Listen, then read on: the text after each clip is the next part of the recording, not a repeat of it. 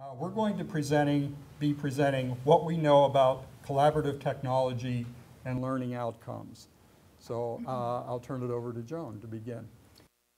I have a brief period of time in which to set the stage and sort of give you some context. Most of this is going to be Mace talking about um, a, a, a, scenario here at Case Western with Adobe Connect, right? That's correct. Okay, so what do we know about collaborative technologies? The way I want to frame this and set up the background for um, Mace's presentation is to think about um, not just the technologies and the learning outcomes, but actually the underlying pedagogies and uh, learning strategies that touch on, are supported by, or associated with collaboration.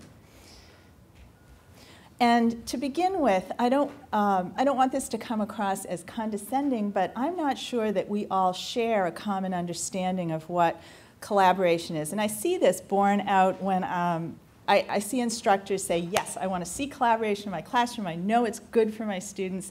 Let's do a group project.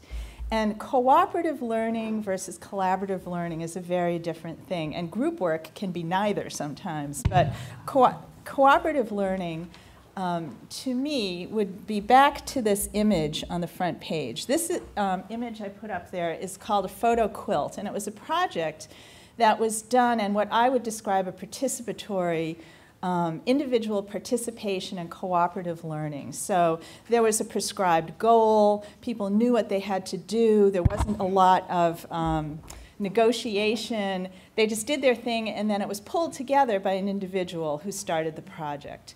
Collaborative learning is different in the sense that in collaboration you often um, true collaboration, I think. You're negotiating meaning, understanding value, understanding where the other stakeholders are coming from, where your co-collaborators are coming from, building trust.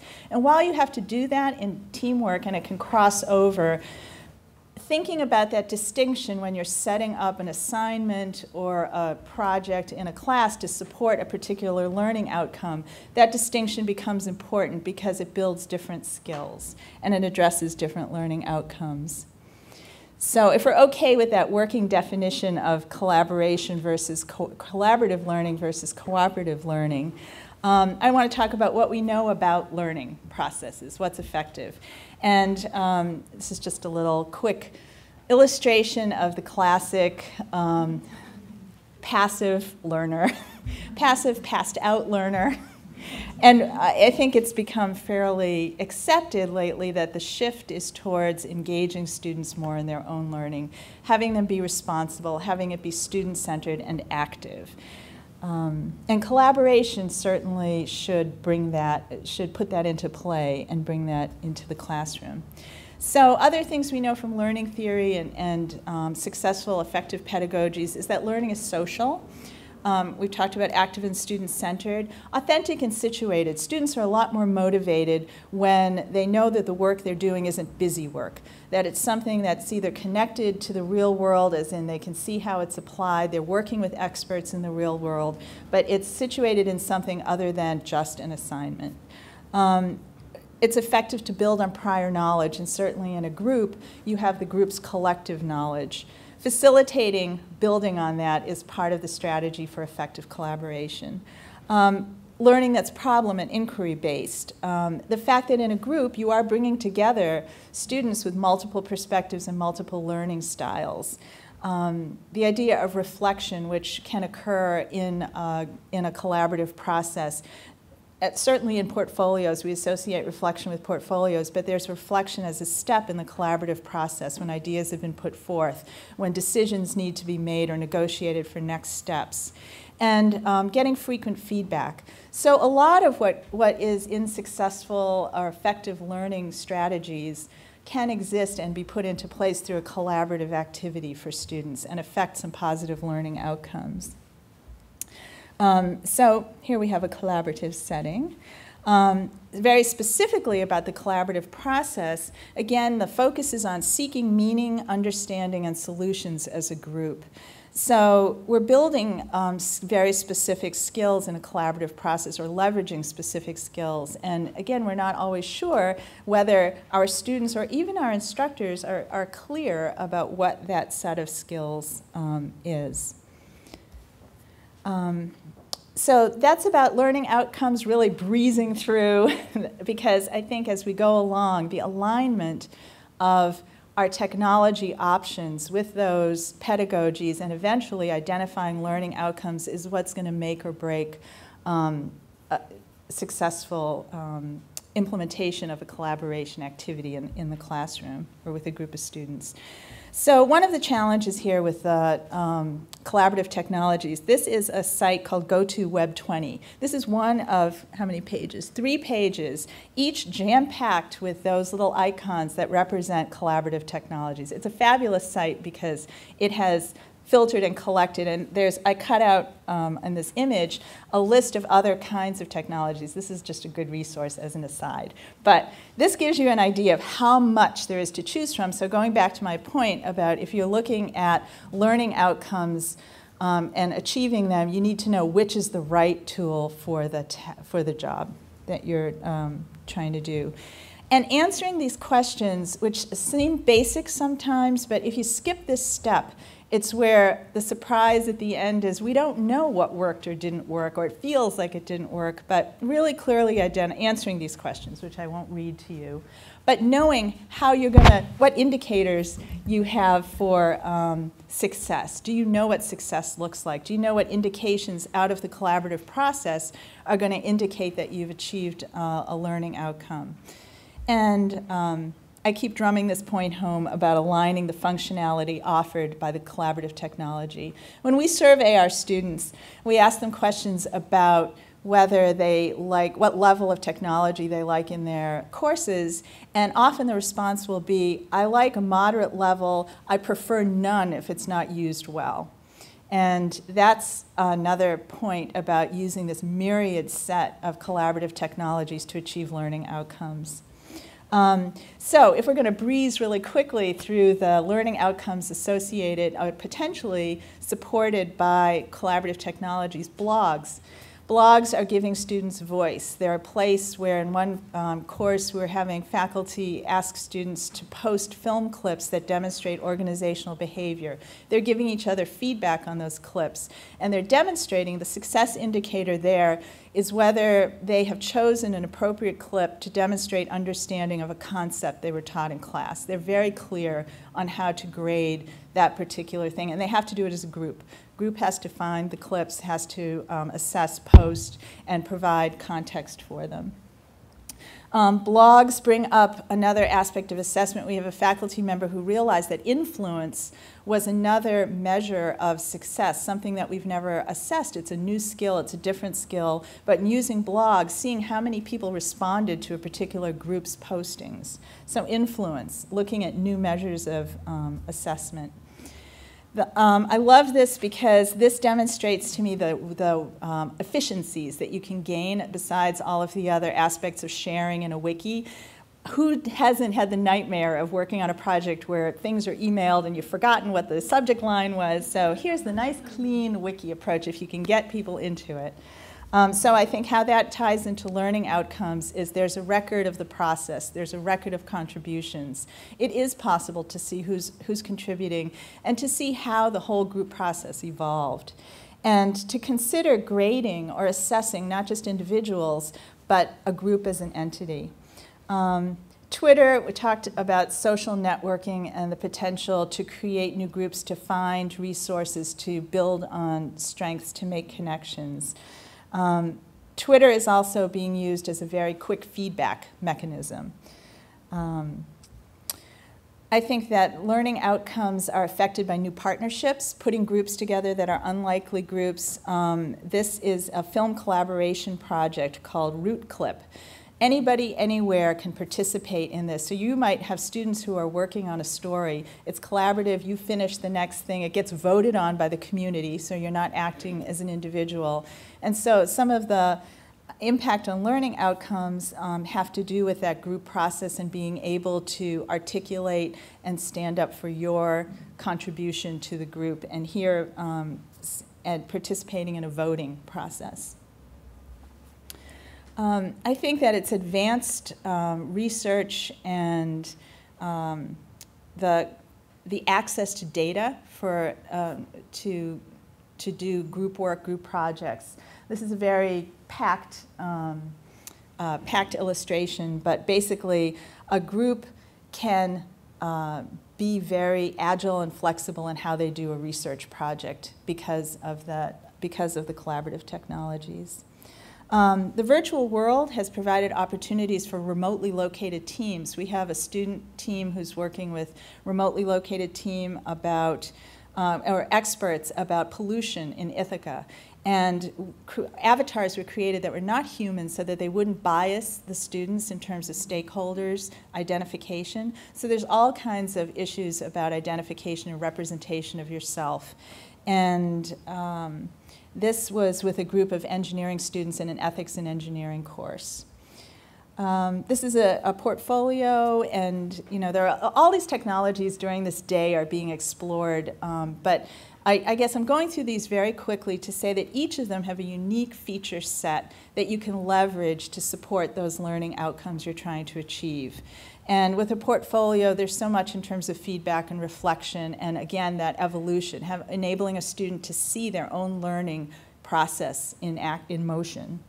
Um, so the emerging outcomes from, from that we know about uh, about using collaborative technologies are that, that students are starting to recognize new partnerships across disciplines with people beyond their instructor, that there are new sources, and that their peers are sources of knowledge and authority. And that's going to that student-centered um, learning piece. And that there is this notion of collective intelligence as a group, that they will have a better outcome if they don't work separately, but rather struggle through the process of working together.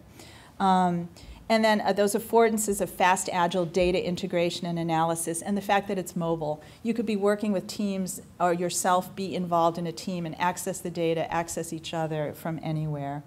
And it's about the process, not just the end results. So we were talking about giving you a quick glimpse into the research. The areas of focus in the collaborative, in looking at collaboration um, in learning, that the focus has been on the product. It's sort of here's the group, here's how the, and then skip the piece about process and look at what they did.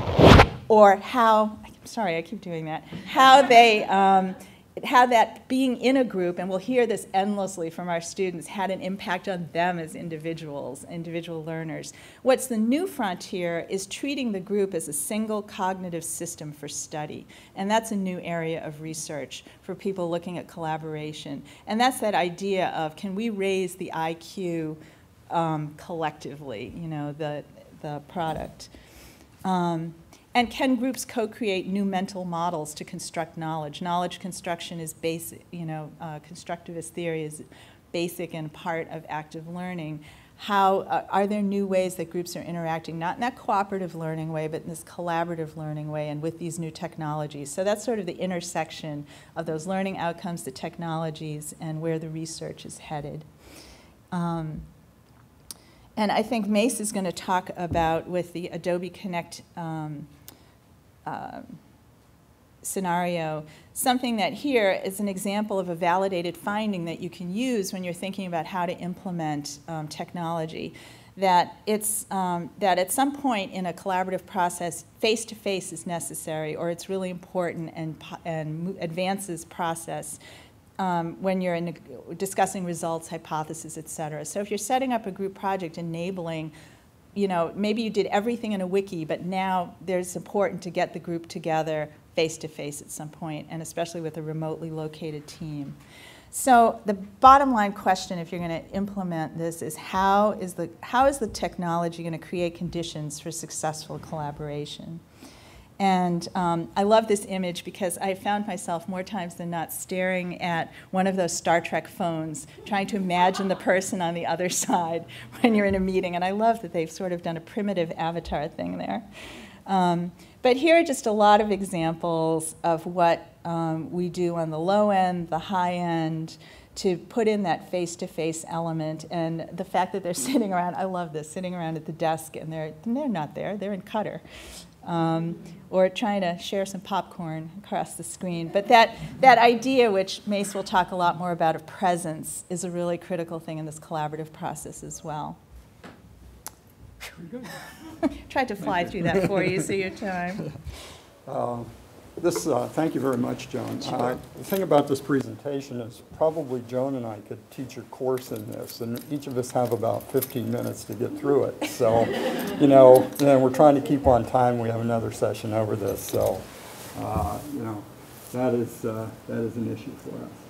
But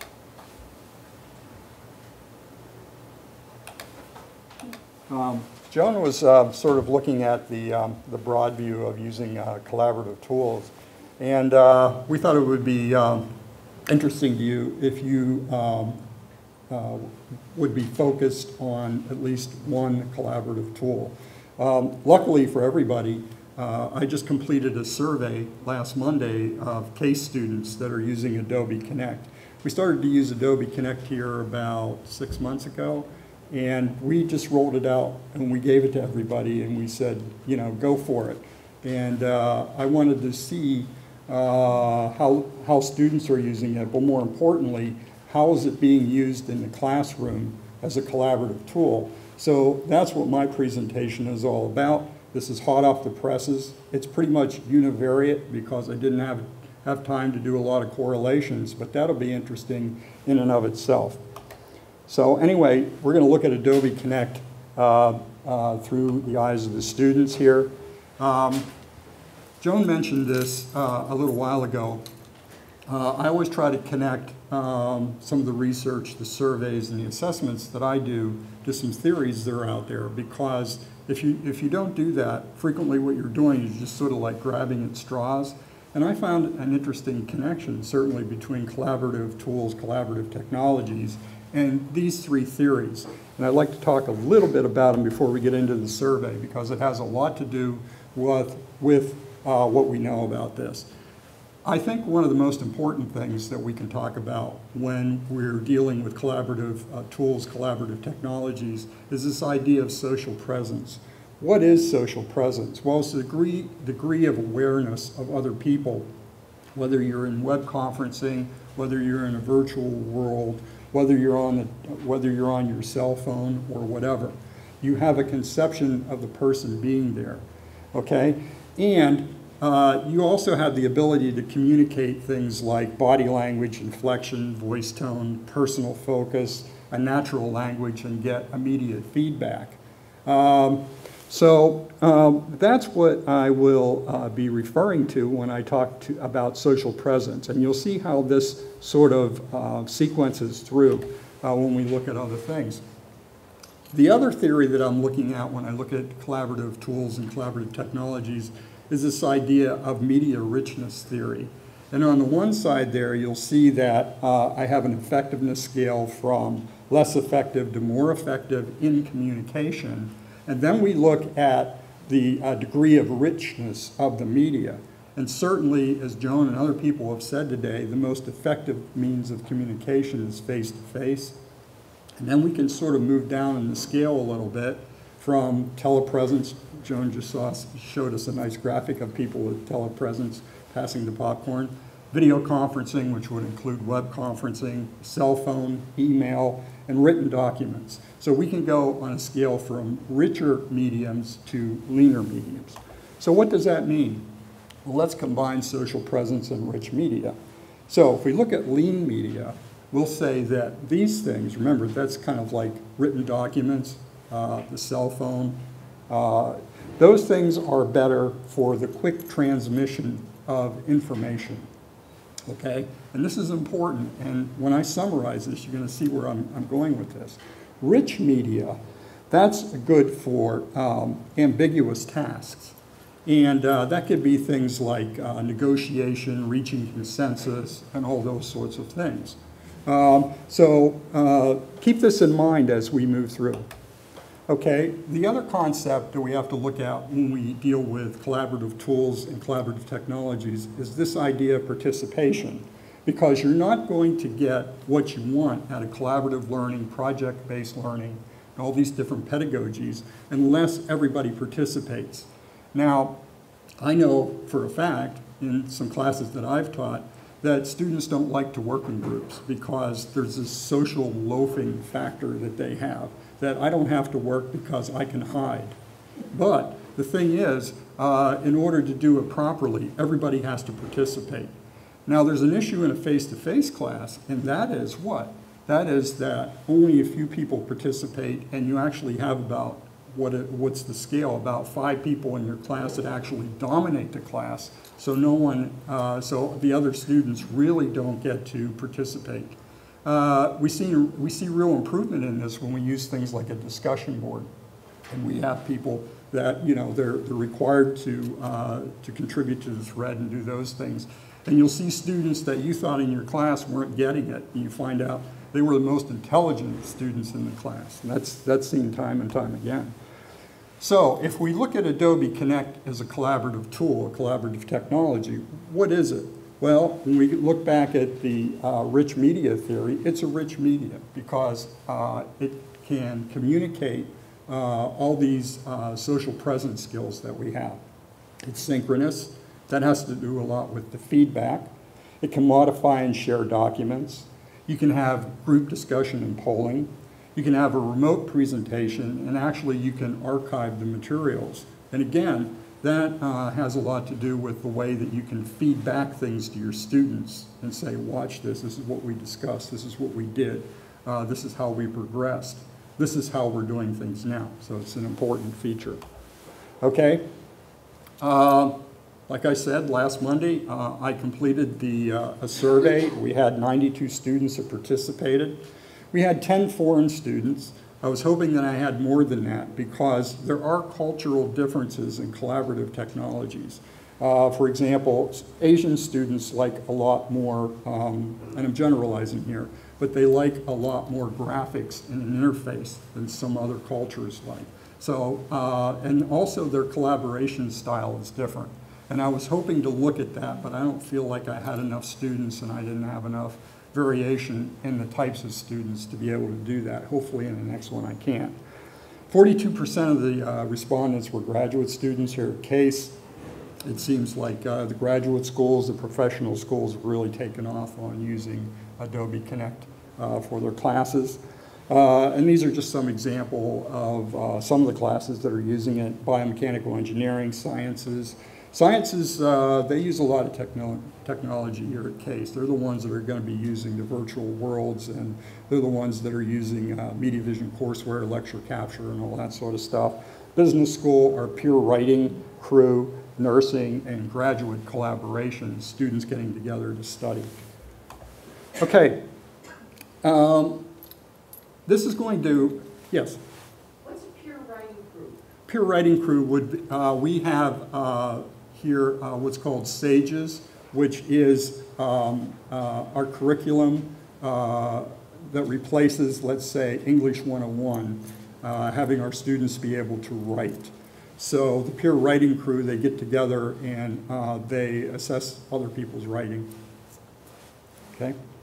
Um, here are some of the ways I ask students, how, do you, how are you using Adobe Connect? And uh, one interesting way they're using it is they're viewing the lecture in the lab. And this is important later on, I'll talk about this. In other words, they're sitting in the lab and it's a long, narrow lab, and you can't see the front, you can't see the lecture. So the professor said, I want all you to use your laptops and we're going to put this in Adobe Connect and you're going to be able to listen to the lecture better. Okay? So that's one way they're using it. They're actually using web conferencing and a collaborative tool to learn about collaboration. Hmm. Okay, they're using it for the usual things like group projects, group assignments, uh, to review documents uh, when they're on a conference call. They're using it to communicate uh, with their advisor to get advising online. Uh, and, uh, and, and you can see some of the other things, recitation, tutoring. Okay, I asked the students, uh, tell me uh, your preference for a collaboration, a collaborative technology, a collaborative tool. And you'll see here that, interestingly enough, 50% uh, of them chose email. And I really need to look into that one because that doesn't have much social presence and it's not necessarily a rich media tool. But again, I'll talk about this in my summary. The second highest was Google Apps, which certainly can be a collaborative technology. And then we get into things that you see where web conferencing is, the cell phone, uh, and so forth. I had some other technologies listed, like Second Life, and no one chose Second Life as a collaborative technology. Second Life has an amazing social presence in it, and it is a very rich technology, so that was surprising to me. Okay? Um, I did a, uh, a, semantic differential thing to measure uh, social presence in Adobe Connect. So these were on a scale, uh, if uh, the technology is considered to be personal, social, sensitive, or gives you a warm feeling in working with others, uh, then, it, uh, then it has more social presence, okay? Um, they rated the cell phone as the highest in social presence, which is interesting because I can't see the other person, okay? Uh, Adobe Connect was rated medium in this uh, differential scale, okay? Um, the cell phone, for, person, for being personal, the cell phone was followed by email. For social, the cell phone was followed by Adobe Connect. You see a theme here on cell phone. Sensitivity, cell phone followed by email and warm feeling, cell phone followed by Adobe Connect. So students here really love their cell phones, I have to say. Okay, participation. Now, this is interesting because I asked them about participation in Adobe Connect before I asked them about participation using other tools or, or other strategies. 72% felt that Adobe Connect allowed them to participate fully in what they were doing such things as uh, project activities, group assignments. But of course, they felt that participation was better face-to-face. -face. Then on the next question, I asked them to compare their participation with other things. And you can see here that they felt they had full participation in face-to-face, -face, cell phones, and email. Less participation in Adobe Connect and a discussion board, and little participation in a wiki. Isn't a wiki tool built for participation, isn't that? So uh, when I talk to some faculty around here, they say, I want students to participate and collaborate in a wiki, but what do students do with it? They do the thing that I did when I was an undergraduate. We all picked a chapter and wrote something separately, and then we put it together. That's how they're using a wiki. And that's why they're feeling that it, uh, they're not doing very much participation and not really using it what it's made for. Again, you're going to hear my theme at the end about that. Okay, difficulty in working on projects as compared to face-to-face. -face. Here's the cell phone again. This cell phone is everywhere, everywhere in my survey. They say it's about the same as face-to-face, -face. more difficult. Adobe Connect, email, wiki, and discussion board. Okay, Students agree that uh, Adobe Connect can support multiple learning and working styles, and I described in the survey what a working style was. I figured people knew what learning styles were, so I didn't describe that. But there was pretty high agreement that Adobe Connect could support those things. Ease of use, 71% thought that Adobe Connect was easy to use. But later on in the comments, they said it wasn't so easy to use. So I'm a little confused here. So I think I have to break that down and uh, do some further investigation. Task difficulty. 92% felt that Adobe Connect make, made the assignments and other tasks more difficult to complete. Okay? Technology issues that made Adobe Connect difficult to use for assignments and other tasks. Learning curve. They felt there was a learning curve and that uh, remember a few slides ago they said it was easy to use, and now they're saying there's a learning curve in Adobe Connect. Audio has always been a problem in Adobe Connect, where sometimes we use, an, uh, where we use a bridge. Some students are actually using audio in Skype instead of the audio in Adobe Connect. Uh, they use Adobe Connect for sharing and doing some of these other things. Uh, drawing in Adobe Connect, we actually uh, have some students that in their, uh, in their assignments need to draw things. Well, the tool's not really made for that. It's really hard to draw in Adobe Connect, so I agree with that one. Synchronizing their work, they feel that it's not intuitive. Here's an interesting one, it's not well known. In the panel today, they were talking about in order to initiate and integrate these collaborative technologies, first of all, there has to be a culture for the technology. I don't think we're there yet. So I don't think that uh, Adobe Connect is that well known, and we need to work on that. Uh, Not easy to share equations. I don't think it's built to put equations in there. And uh, this was used for uh, a programming class where they had to put a lot of equations in, the- in the application. Not user-friendly, unable to display document or text files. You have to use uh, flash paper to put different documents in Adobe Connect. Disappearing comments. This gets back to learning styles, because as the students were commenting during the presentations, the, uh, the text box was too small and the things would quickly scroll off the screen, so they couldn't read the other comments that were in there. Uh, difficulty in sharing documents, unnecessary use of the technology. I think this is an important theme. Uh, and why? Because um, these technologies are built for collaboration, for problem solving. And then we have people that are using them to view their lecture in class and do these other things. And I think that kind of turns some of the students off uh, as far as why are we using this? Isn't there a better technology? And there are better technologies out there to do that. Okay, they were split on the ability to communicate in, uh, uh, in Adobe Connect. Um, and suggestion for, I asked them about, you know, will, will give us some suggestions with dealing with issues. Uh, some of them want to communicate by voice rather than the text box.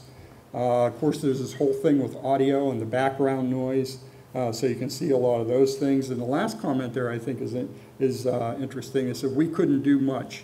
We tried establishing rules for the group, but it didn't work well. We changed to Skype for voice, but that wasn't much better, given that we had team members on several continents.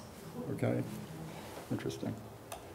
Okay, 92% want to see the other person when communicating with them, but remember before they said that they feel that their favorite collaboration tool is the cell phone. You can't see the other person on the cell phone. So that's, that, that's very interesting there. 65% felt that their collaboration skills did not improve as a result of using Adobe Connect, and 68% want shared control during the session. 53% were satisfied with their Adobe Connect experience. Okay, so here, here are uh, some of my um, thoughts on the results. Certainly, further investigation is needed to clear up some of these uh, um, issues. First of all, th there, uh, I'd like to talk about theories. There is a theory of, of group cohesion. Uh, groups that work together well and have been established for a long time, uh, they can overcome uh, some issues like um, not using, actually, if they would use a, a, less rich technology, they can overcome that because they know each other so well and uh, they know how to work with one another. So you could actually have a group that's been together for a long time and they could actually uh, collaborate on their cell phone. So I'm not sure if that's what the issue is here, but um, it's, it's, an interesting, uh, it's an interesting thought. Uh, I think sometimes what we do when we establish groups in our classrooms is we switch them around during the semester and we don't build any group cohesion. And that might be a strategy to help them work, uh, work through some of these, uh, these other issues. Familiarity with the technology, we, you saw the comment where they said, this is not really well known. If it was better known, the students would grab a hold of it and you would see better results with it. And I think this is what we heard in the panel, and this is what we heard from Joan a little while ago. You have to match the technology to the pedagogy, okay? You start out, I'm an instructional technologist, so I start, start out with a pedagogy, and then I see what technological tools will support the, the, uh, the, the, uh, the pedagogy. Um, I don't think that that's happening here. I think that there, uh, what's happening is people are just trying to throw a technology at some of the things that we're doing, and it's not working out very well. And then the other issue, and this was sort of the thread that I was, I, I was telling you I was going to tell you about, uh, matching the technology to the task. Okay, if the task is quick transmission of information and data, you can use the less rich technology. However, if the task is collaboration, then you should be using a collaborative technology like Adobe Connect. You can't mix those up. But then we get back into the thing about group cohesion that can overlook that and overcome that. But I think one of the problems with using Adobe Connect here is that they're not matching the technology to the task. In other words, it's supposed to be a collaborative task, they're not using a collaborative technology, or it's a data transmission task, and they're trying to, uh, they're trying to use a, um, uh, a higher, richer technology to do that. Inappropriate use of the technology, I gave you some of the examples of that. There are some people that are doing other things besides broadcasting their lecture in the class. Uh, for example, they're using it for, uh, they're using the polling uh, in class uh, as a cheap way uh, to establish a clicker system. You probably know about the clickers in class. So they have students sit there with their, uh, uh, with their laptops connected to Adobe Connect and they're doing polling on there. And then uh, the uh, professor's screen is up there, they can see the results of the poll. Well, again, there are better tech technologies for doing that. Granted, this is free to the case community, but there are better technologies.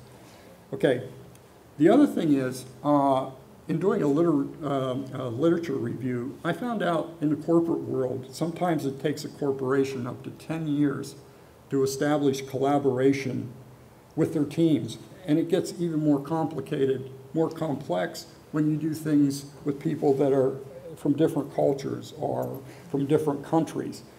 We do a collaboration, we give the students a collaboration tool with no background or training in collaboration whatsoever. And then we expect them to be expert collaborators, or we, accept, we expect them to solve problems, do their assignments, and all these other things in Adobe Connect. I don't think that's right. I think we should say, you know, here's the way you collaborate. Let's build your collaboration skills up first, and then we'll give you the tool to be able to do that. So I see that as a real, a, a real issue with it. Okay, how'd I do on time?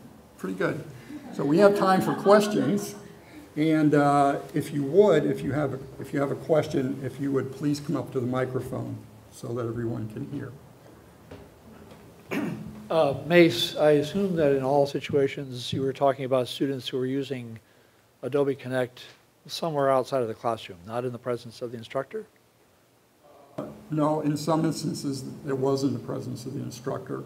And in other instances, it was for group projects in which the instructor did not, was, was not a member. Right. It just seemed like there would, did you notice a difference between when, you know, there was a regular classroom, and everyone had a laptop, and they were using Adobe Connect? Our, our, one of, one of the first presenters today, um, Wyatt Newman, was talking about his engineering class, where he was able to have all the students watch a very complicated process. Right. He was using Adobe Connect, but then they could also talk to each other.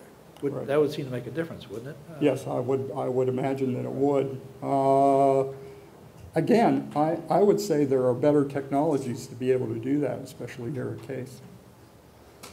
Uh, Hi, um, I, I'm wondering about the whole issue of sort of, you know, um, the sort of peer reinforcement for using technology. That, um, you know, when, uh, you know, proprietary product like Adobe Connect is used, it is a very small user base, and you don't have the benefit of, you know, peer instruction. I mean, kids have no problem with Facebook because if they have a problem, they ask somebody and they get an answer. And that helps reinforce it, and uh, become, they become very comfortable with that technology. And some of it's, you know, with the add-ons, it's kind of complicated, actually, but, you know, they're kind of fearless about, you know, trying new things. I'm just wondering whether the whole, um, you know, I appreciate the corporate support for this conference, you know, that's great, but um, Adobe has a major presence here. But I'm wondering whether that tool um, isn't a, just a little bit too specialized to accomplish um, the goals that we have in getting our students to be comfortable and using the technology as sort of a natural extension of their activities. I mean, uh, I mean, and uh, in my setting, you know, we've looked at a lot of different products and we've kind of said, well, you know, Google Apps is like ubiquitous. It's everywhere and people choose it voluntarily and it can accomplish maybe not 100% of what Adobe does, but maybe 80%, 90%. I mean, I'm just wondering whether or not, you know, we're sort of boxed ourselves in here in terms of using these very high-end, very capable products that are sort of originally designed for a corporate environment, try to move them into an academic environment. Strategy was to put it out there and see what students and faculty would do with it. Now, was that the best strategy? I don't know. The other, the other thing that I find, and I see this uh, time and time again, is somebody once made the comment, they said, students are proficient with technology, but they're not literate. And if you want an example of that, you can look at YouTube. You look at the, the videos that people put up on YouTube, and they're proficient at using the camera, they're proficient at doing things, but it's not really a video production like we would want. So it's the same thing with some of these other technologies. They're proficient at the technologies, but they're not necessarily literate. And it gets back to my comment about if we want students to use a collaborative technology, maybe they should know what collaboration is first and how you work in a collaborative team first before we lay that over uh, a tool. Um, I have a question about the population. Were there any students that were distance learners? Because I've been using Adobe Connect to reach out to distance learners, and it's wildly successful, and I get very positive feedback. But I can't really see, you know, matching the task to the technology, how it's that useful in a face-to-face environment. Uh, here, we don't have that many distance uh, courses. So a lot of these things are uh, enhancing uh, face-to-face. Do you use anything like that? We don't have distance courses, but I've seen the success of Adobe Connect in situations where we're with remote, many remotely located um, participants, and that presence has been successful. Hi, uh, my name is Michelle. I'm actually a graduate student here at CASE. I was one of the people who answered that. Um, sure. Uh, to give you a little more background, for uh, the business school, the executive MBA program I'm in, uh, nobody did come in to give us any Adobe Connect training. I sought it out. There, was a, there were particular classes here at CASE, but you had to seek them out. So I did that. I educated my study group on how to use it. We use it so that weekly we can get together remotely as opposed to in person. So that's how we use it. And perhaps the reason you got some different uh, answers to those questions is because just because Adobe Connect has video opportunities, that doesn't mean the students are using those capabilities. So when they're answering the questions, is Adobe Connect rich and yada yada? It might be just how they're using it as opposed to what it can do. And that might express, you know, uh, answer for the dichotomy between it. Very good. Uh, Usually, uh, after I do a survey and I collect data like this, I usually have either a uh, focused interviews or focus groups. So I don't know whether you'd want to participate in that, or if you know other people that would. I like to get, you know, what's behind the numbers, what's behind all this stuff. So probably, it's probably too late in the summer, but probably beginning of the fall, try to get some focus groups together and find out what's going on here. I want to speak to your first point because I'm in the middle of a Sakai portfolio pilot, and we did a very mini pilot, but the, we had to roll it out quickly. I'm so sorry, that thing is black and it's blending in my peripheral vision here. Um, the, the upshot was everyone wanted more context, and we also found out the second thing about what um, Trent was saying, uh, what um, Mace was saying about uh, collaboration skills was true of reflection what is reflection? You know, in the pilot that came across that there, that there was not necessarily a common understanding of what was expected or how to. So it was a combination of not having a, an adequate orientation that we're changing for the next phase of our pilot and also encouraging faculty to, to speak more directly to those reflection skills. And I think it applies to using um, this for collaboration. What I find interesting, not only were the students not engineered on Adobe Connect, uh, but the faculty are not either. And so in the program, well, in the program that I'm in, which is supposed to be half distance, half in person, uh, the distance lacks. Uh, that doesn't mean that it can't come full collaboration, but I think that if there was more uh, dedicated to educating the educators on how to use it, in addition to educating the students and actually having class time in that process, you're going to have a lot more success in this. We have time for one last question. Sure. John, and I actually have two questions, but I'll keep them short. Um, th- the first question, I noticed in your slide that you made a distinction between uh, telepresence and teleconferencing, and I was curious what the difference between the two is. And the second question, uh, in a previous life, I was a project manager, IT project manager, and spent a lot of time managing groups uh, that were geographically spread out all over the place, trying to get them to collaborate. And I found that the, the two critical factors in getting uh, people to really engage with the tools was number one, familiarity with the tool, which I, I suspect is why email was so popular because everybody understands email. It's, it's a very um, familiar, comforting um, environment for a lot of folks. And number two, I found that, that having people meet face to face at least once, where you establish that relationship and that rapport, um, even if it's just once, can make a huge difference in terms of how effective these tools are in allowing the group to continue to collaborate. So I guess maybe that was more of a statement than a question, but anyways, thanks. Telepresence. Yeah, telepresence. So the idea there is you saw these people were sitting, I mean, it's one thing to have a screen and see a person's face on the cell phone and Skype on your laptop, but this was an attempt to make them feel that they are truly present in the room. Proportion, sitting at a desk, the monitors are placed at desk height. So after a while, when you're in that environment, you kind of forget that they're two-dimensional and start reaching for the screen. And that's the idea, is to really increase that, that, um, that feeling that you're together. And that, uh, you know, there's been research done about that social presence and just telepresence itself, that that makes a difference. Okay. Thank